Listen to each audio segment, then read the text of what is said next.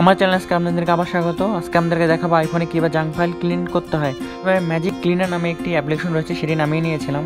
Description বক্সে দিয়ে দিচ্ছি, এই অ্যাপটি আপনারা প্রথমে ওপেন করবেন। ওপেন করার পর আপনারা দেখতে পাবেন যে ক্লিন হেয়ার মানে এখানে একটি যে আইকনটি রয়েছে, সেখানে ক্লিন প্রেস করবেন। প্রেস করার পর এটি ক্লিন হতে শুরু করবে। যদিও আমি এর রেকমেন্ড করি না, কখনো কোনো কিছু জোর করে ক্লিন করার। আমার একটি ভিডিও এই ভিডিওটি শেষে দেওয়া আছে, সেটি আপনারা দেখলেই বুঝতে পারবেন। তারপর দেখবেন যে এটি আস্তে আস্তে করে ক্লিন হতে আছে এবং আস্তে আস্তে এটি একশো পার্সেন্ট হয়ে যাবে। আমি সাধারণত এটি স্ক্রিন রেকর্ড যা করে এই ভিডিওটি আমি আপলোড করতে চাইছিলাম, কিন্তু স্ক্রিন রেকর্ড করার সময় যখন আমি এটি ক্লিন করতেছিলাম স্ক্রিন রেকর্ডটি অটোমেটিক্যালি অফ হয়ে যাচ্ছিল।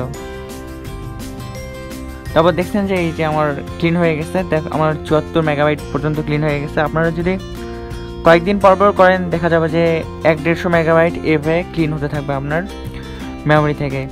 এর আরেকটি বৈশিষ্ট্য হলে আপনারা এখানে শর্ট ফাইল করে দেখতে পারবেন যে কোন ভিডিও কিংবা কোন ফটোগুলোর সাইজ বেশি, সেগুলো আপনারা এখান থেকে ডিলিট করতে পারবেন। বন্ধুরা, আমার ভিডিওটি ভালো লাগে থাকলে আমার চ্যানেলটি সাবস্ক্রাইব করে থাকবেন এবং আইফোনের টিপস দেখতে হলে আমার যে ভিডিওগুলো রয়েছে সেগুলো দেখতে পারেন।